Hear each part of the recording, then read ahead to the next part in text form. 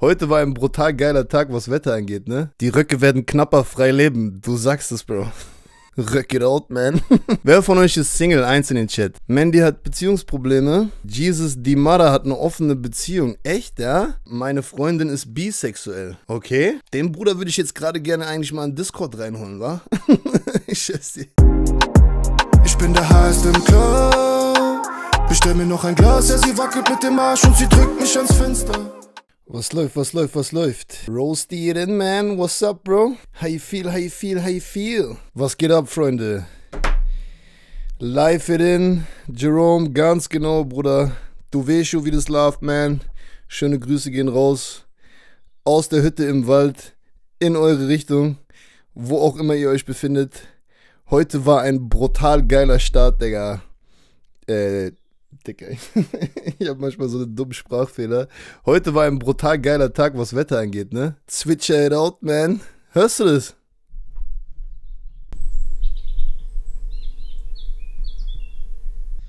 Die Zwitschi-Vibes, yo. ja, Mann, Digga. Bruder, heute gefühlt 30 Grad. Wie ist das Wetter bei dir? Sehr geil. Was war heute? Heute waren schon, ich glaube, 18 Grad hat er bei mir angezeigt. So. Das soll sich wohl die Tage auch ein bisschen halten, das Wetter. Dadurch, dass ich im November hergekommen bin, es waren ja die dunkelsten Monate in Deutschland eigentlich. So November, Dezember, Januar, Februar. Der, man muss schon sagen, wenn dann die Sonne ein bisschen rauskommt, dann hat man dieses richtig geile, dieses so, man fängt wieder an zu leben Gefühl. Oder? Ich glaube, in manchen Völkern ist sogar der Frühlingsanfang der Jahresbeginn, was für mich auch Sinn macht, weil da wachsen die Pflanzen wieder, Sonne kommt raus, Leben, Leben ist wieder da. ich schätze dir. Das Wetter macht so viel aus, Digga, direkt bessere Laune. Ja, keine einzige Wolke den ganzen Tag. Sehr, sehr, sehr, sehr, sehr, sehr nice. Bestes Leben in deiner Hütte. Ich muss sagen, langsam finde ich das auch. Also ich habe ein paar Tage, also gerade wenn es dunkel war, so in der dunklen Zeit, habe ich mich auch schon manchmal, habe ich mir gedacht, so scheiße, Bruder, du bist auch noch von der Welt abgeschottet und dann auch noch im Dunkeln und so. Dann hat es schon so ein bisschen, ja, habe ich mich sogar, habe ich mir so gedacht, shit. Aber jetzt, wenn die Sonne scheint, ist es richtig schön hier zu sein, auch die Tiere zu sehen, die Vögel zwitschern zu hören. Auch vielleicht sogar gut, auch ein bisschen weiter weg von den Menschen zu sein. Ist schon cool, auf jeden Fall. Ich bin hier, ich bin hier auf jeden Fall happy gerade. Jerome sagt vier Monate im Jahr einfach Wintersleep und kein Live. Ja, Bro. Fühle ich. Das war auch der Grund, warum ich damals mir immer schon vorgenommen hatte, dass ich im Winter das Land gerne verlassen würde. So. Ich schwör's dir. Weil jedes Mal, wenn es von, von, von Sommer dann Richtung Winter geht und die Tage dunkler werden, die Tage kürzer werden, weniger Sonne scheint und so, habe ich immer hier Depri-Vibes im Brain. Ja, alleine dieser Frühlingseinbruch macht was mit einem. Ja, das ist geil. Man, man fängt wieder an zu leben, Bro. Man fängt echt wieder, man fängt wieder an zu leben. Man ist motiviert. Frühlingsgefühle kommen auch wieder hoch. Ne, Freunde, wie sieht's da aus bei euch? Wie sieht's beziehungstechnisch aus, Leute? Wer von euch ist Single? Eins in den Chat. Wer von euch ist vergeben? Zwei. Der Danny fragt, wo ich trainiere zurzeit bei Clever Fit, Bro. Die Röcke werden knapper frei leben. Du sagst es, Bro. Röck it out, man. Geil, Alter. Fast nur Singles in meiner Community. Scheiße. Auch auf Twitch, Bruder. Eins, eins, zwei. Zwei mit Schwierigkeiten. Mandy hat Beziehungsprobleme. That's not good. Da musst du was tun. Vergeben, offene Beziehung. Jesus die Mother hat eine offene Beziehung. Echt, ja? Wie läuft denn das ab bei euch? Dürft ihr quasi beide machen, was ihr wollt, oder was? Oder, oder, oder, oder wie gestaltet sich das? Das interessiert mich jetzt, Bro. Das interessiert mich jetzt, wie ihr das gestaltet bei euch. Ich meine, ich habe schon öfter mal gehört von offenen Beziehungen und so, aber ich frage mich halt immer, wie man das dann im echten Leben wirklich dann lebt, so. Ibrahimovic sagt, offene Beziehung ist doch komplett Schwachsinn, oder nicht? Ja, wie gesagt, wenn, wenn, wenn es irgendwie einen Deal oder eine Einigung gibt, die beiden Parteien gut tut, dann ist es auch okay. Aber ich habe mir halt für mich persönlich in meinem Leben, wenn ich mir das so vorgestellt habe, schwierig, da einen Nenner zu finden. Weißt du, was ich meine so? Und dann muss man natürlich auch die Partnerin, ähm, man muss natürlich auch dann die Partnerin im Boot mit drin haben und das halt ist, ist, ist schwer sich vorzustellen, wie man das im echten Leben leben soll. Er schreibt gerade, warte, er hat gerade geschrieben, wo ist er denn hier? Ähm, meine Freundin ist bisexuell. Okay. Das heißt, du, du schläfst auch mit anderen Frauen, bringst sie auch mit nach Hause oder was mäßig? Aber kann deine Freundin auch mit anderen, also schläft deine Freundin auch mit anderen Männern? Weil das ist dann nämlich so. Nee. Aber auch so, wenn du überlegst, also keine Ahnung, da kommt doch. Also man muss schon echt. Man muss schon echt äh, krass locker drauf sein und muss, da, da gehört eine krasse, also ich kann es mir nicht vorstellen, weil ich selber einer bin, der, wenn er richtig liebt, nicht teilen möchte so also wirklich nicht teilen möchte, ums Verrecken nicht teilen möchte, so. Und ja, deswegen ist es, finde ich es immer so krass, wie andere Menschen damit umgehen können. Also das nachzuvollziehen, weißt du, wie ich meine? So, weil selbst wenn du jetzt nur immer eine andere Olle mit nach Hause bringst und ihr habt dann Sex zu dritt mit deiner Freundin zusammen, irgendwann entstehen doch komische Situationen. Irgendwann entsteht doch irgendwie auch ein Eifersuchtsfaktor und so, oder? Oder läuft es dann einfach durch und, und ihr seid dann beide so cool damit einfach down? Den Bruder würde ich jetzt gerade gerne eigentlich mal in Discord reinholen, wa? ich schätze. Bruder, der lebt den Traum, sagt er. Ich habe in Tulum auch eine kennengelernt, die so einen Deal hatte mit ihrem Mann. Der durfte, der durfte auch Sex haben mit anderen Frauen, aber nur zu Hause bei denen. Also auch nur, wenn die, wenn, wenn sie mit dabei war. Also, crazy. Also es ist ein Versuch wert. Ich würde ich würd nicht generell sagen, dass ich das nicht machen würde. Es ist ein Versuch wert, so. Aber wie ich das mittlerweile, also wie ich das jetzt in meinem eigenen Leben mitbekommen habe, so, keine Ahnung. Also die Frauen, die ich mir ausgesucht habe, die waren auch vom Eifersuchtslevel auf einem ähnlichen Level wie ich. Und ich glaube, von uns beiden wäre keiner dafür bereit gewesen, den anderen zu teilen, so. Und ich kann es dann auch verstehen. Weißt du, man muss da schon dann die richtige Partnerin für finden. Der Jesus, die Mother sagt jetzt dazu, man muss einfach open-minded sein, offen für alles und alle. Ja, okay. Okay. Cool. So. Nehme ich so mal mit, weißt du, ich meine? So, ich kann dir das, also keine Ahnung. Ich habe selber da keine Erfahrung gemacht. Och nee, das finde ich nicht so dolle. Okay, die Mandy findet das nicht so dolle. Wenn du wirklich mal jemanden bedingungslos liebst, willst du keinen anderen. Du kommst nicht mal auf den Gedanken, weil es genug Tuung auf vollster Ebene ist. Ja, das ist, ist ein schöner Satz, Roasty, und das hoffe ich mir für mein Leben auch. Also ist auch so die, die Aussicht, die ich habe. Zu eifersüchtig ist aber auch schlecht, oder? Ja, definitiv. Also ich muss da ganz klar sagen, dass ich in meinen vergangenen Beziehungen auf jeden Fall, ähm, auf jeden Fall teilweise echt zu eifersüchtig war. Und das ist, das, das bringt einfach keinen guten Vibe in die Beziehung mit rein. Vor allen Dingen, wenn es grundlos ist so.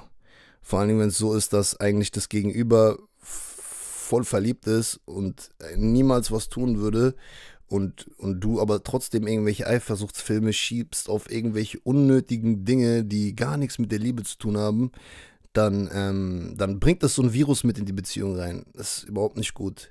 Und ich habe mir das auch für mich vorgenommen, da mehr dran zu arbeiten. Nur habe ich halt gemerkt, es ist schwer, wenn du Single bist, daran zu arbeiten. Du musst halt schon einen Partner haben, wo du dann äh, daran arbeiten kannst. Aber es ist schon wichtig, dass man es real vor Augen hat. So, ich weiß auf jeden Fall, dass ich in meinen vergangenen Beziehungen hundertprozentig äh, negative Vibes in die Beziehung mit reingebracht habe, wegen unnötiger Eifersucht, die nicht berechtigt war. So. Ja, und das nervt. Und das hat mich auch selber genervt. Auch im Nachhinein, wenn ich, ich habe meine ganze Beziehung nochmal reflektiert, was auch brutal wichtig ist, kann ich nur jedem ans Herz legen.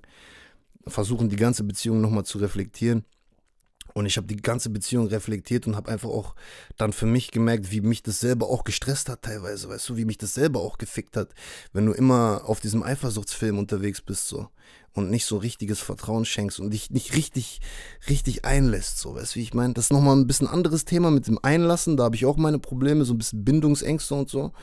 Und, äh, aber wenn das kombiniert mit Eifersuchtsfilm, ist halt einfach auch, ist, ist, ist, ist, ist nicht gut. Das bringt ein Virus in die Beziehung rein, der auch so schnell dann nicht mehr rauskommt. Mandy sagt, ich glaube, du kannst ein guter Liebhaber sein. In Anführungszeichen, du kannst.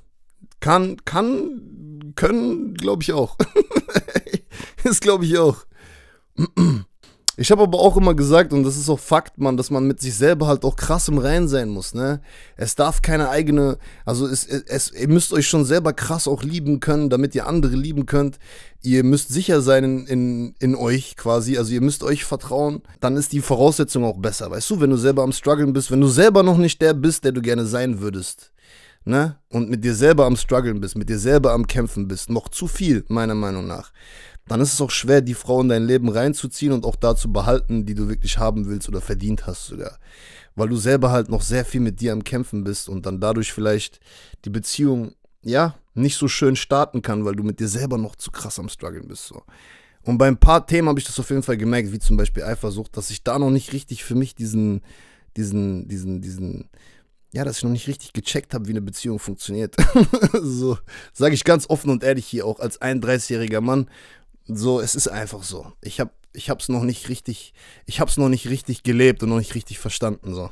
Voll 100% to be honest kann ich äh, es gerade nicht, weil ich selbst am struggeln bin, obwohl ich mich mal so angekommen und confident gefühlt habe. Ja, Roasty, das fühle ich, das fühle ich. Man ist manchmal richtig confident und mit sich selber im Rein und dann kann irgendwas passieren, eine Lebensphase kommt. Es kann auch manchmal nur an äußerlichen Einflüssen liegen, wie zum Beispiel Lockdown. Oder keine Ahnung, weißt du, wie ich meine, was dich dann so unzufrieden mit dir selber oder deinem Leben macht und dass du am struggeln bist so. Ich glaube, viele sind gerade in dieser Phase, aber ich glaube, der Frühling jetzt und wenn alles wieder aufgeht und wieder ein bisschen mehr unter Menschen ist, ein bisschen mehr auch wieder diese Frühlingsvibes hochkommen, wird sich das auch wieder auflösen, hoffentlich bei vielen. Ich muss aber dazu auch sagen nochmal, die andere Seite der Medaille ist nämlich auch, dass, dass es natürlich auch sein kann, dass ein Partner in deinem Leben dich auch unterstützen kann dabei dich selbst zu finden und mit dir selbst im Reinen zu sein. Es kann auch sein. Also da bin ich auch überzeugt von, dass es sein kann, dass du jemanden brauchst, der dir hilft, dahin zu kommen. Und es kann sein, dass es vielleicht deine Partnerin ist. Thorsten Finkel sagt, wie lange hat deine letzte Beziehung gehalten, Leon? Ich glaube, es waren zwei Jahre, Bro. Es waren zwei Jahre insgesamt. Oha, das ist krass. Mama Game sagt, das Bedürfnis zu teilen hat man doch gar nicht. Habe einmal auf Wunsch nachgegeben, nie wieder. Ich habe die Hölle da damit gefühlt geöffnet. Mama Game, schreib mal noch mal rein, ähm, wie du das genau meinst. Also hast du quasi dann gesagt so, ja okay, ich teile meinen Partner, hast es dann gemacht und dann gemerkt, wie kacke es dir damit geht? Was ist, wenn mein Partner Karl Lauterbach